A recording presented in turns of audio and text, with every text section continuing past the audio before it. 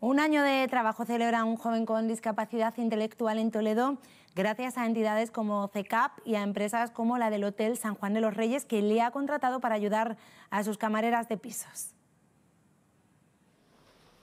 David Huete celebra su primer año de trabajo en el Hotel San Juan de los Reyes de Toledo como apoyo a las camareras de pisos. Buenos días chicos, mirad el parte del día, Henry, eh, Gema y Marisa. David, eh, nos ha salido la habitación, la 28, 23. Buenos días, aquí el equipo de camareras de piso. Sí. David, ¿y tú de qué te encargas? Yo de, de poner las lociones, las toallas, de poner todo. Le damos las habitaciones y luego ya empieza la rutina de quitar ropa y, y nosotras hacer habitaciones. ¿Cuántas habitaciones hay, David? 38. ¿Qué tienes que ir haciendo? Las fundas de las almohadas, las aquí en la, en la bolsa y voy quitando.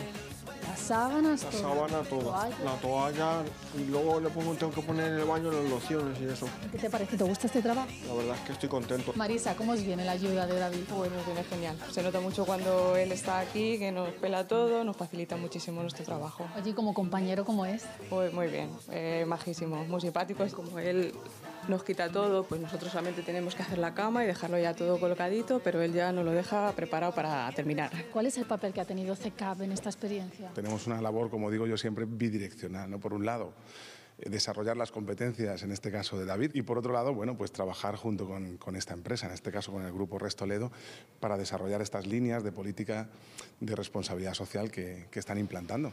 ¿Y cuál es el caso de David? Bueno, el de David es un ejemplo de muchos jóvenes que, que tienen esos grados de discapacidad reconocidos, que tienen como objetivo principal para poder desarrollar su proyecto de vida acceder al empleo. Hola Gema, ¿cómo vas?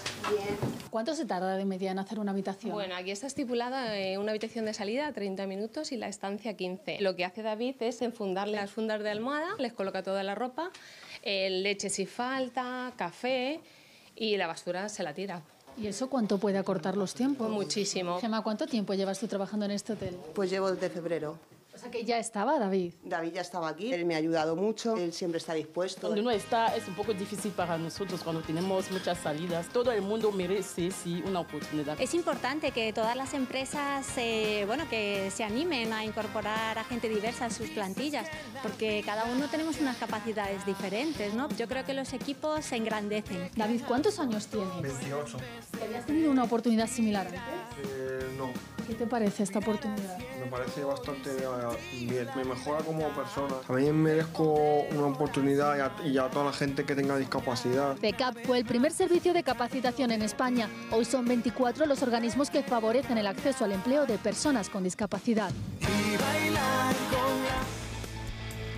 Fijaros en la alfombra